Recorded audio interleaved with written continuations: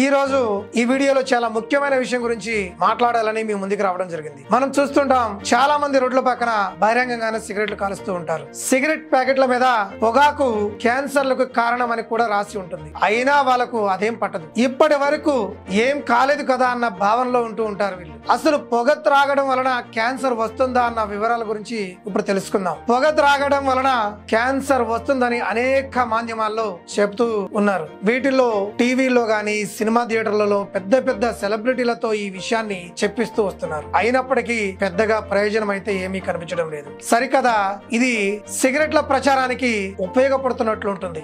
ధూమపానం నిషేధించడానికి ఏ మాత్రం ఉపయోగపడుతున్నట్లుగా లేదు ఈ అడ్వర్టైజ్మెంట్స్ అన్ని. కొంచెం నిశ్చితంగా పరిశీలించండి. ప్రతి వంద మీటర్లకు ఒక సిగరెట్ షాప్ కనిపిస్తూ ఉంటుంది. ప్రతి వంద మందిలో పది మంది ధూమపానం చేస్తున్నట్లు సర్వేలు ఈ రోజున చెప్తున్నాయి. అందుకే సిగరెట్ల వినియోగం వలన క్యాన్సర్ బారిన పడుతున్న వారి సంఖ్య నానాటికి పెరిగిపోతూ వస్తుంది. పొగ త్రాగే అలవాటు ఉంటే లంగ్ క్యాన్సర్ అన్నవాహిక క్యాన్సర్ నోటి cancer stomach cancer blood cancer breast cancer ఇలా ఏ రకమైన క్యాన్సర్ అయినా వచ్చే అవకాశం ఉంటుంది. పురుషులలో అత్యధికంగా వచ్చే లంగ్ క్యాన్సర్లకు ఈ పొగాకే కారణం అనడంలో సందేహం లేదు. లంగ్ క్యాన్సర్లతో పాటు నోటి క్యాన్సర్ గొంతు క్యాన్సర్ అన్నవాహిక క్యాన్సర్ల సంఖ్య కూడా ధూమపానమే కారణం.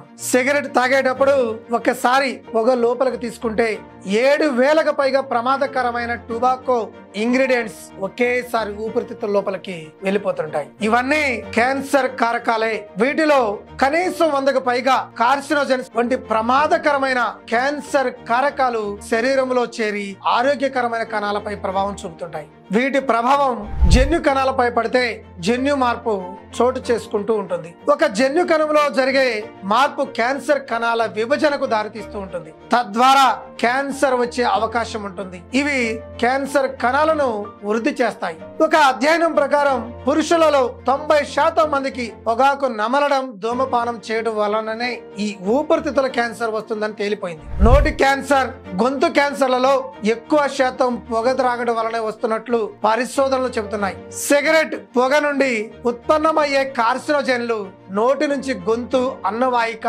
కడుపులోకి చేరి చివరిగా రక్తాన్ని కలుషితం చేసి క్యాన్సర్ కలగజేస్తంలో ఇవి ముందుంటాయి. ఓరో ఫారింగ్స్లో నానో ఫారింగ్స్లో ఓరల్ కేవిటీలో ఎక్కడైనా క్యాన్సర్ వచ్చి అవకాశాలని ఎక్కువగా కలగజేస్తూ ఉంటాయి ఇవి. ఈ భాగాల్లో ఎక్కడ జన్యు మార్పు జరిగినా విపరీత పరిణామాలు చోటు చేసుకుంటూ ఉంటాయి. ఆహారం తీసుకోవడానికి కూడా చాలా ఇబ్బంది ఏర్పడుతూ ఉంటుంది.